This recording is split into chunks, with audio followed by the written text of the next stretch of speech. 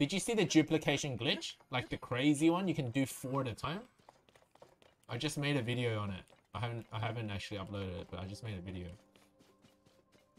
That's not that's obviously not a tip. but that's also super broken. I went from two star fragments to like 16. What?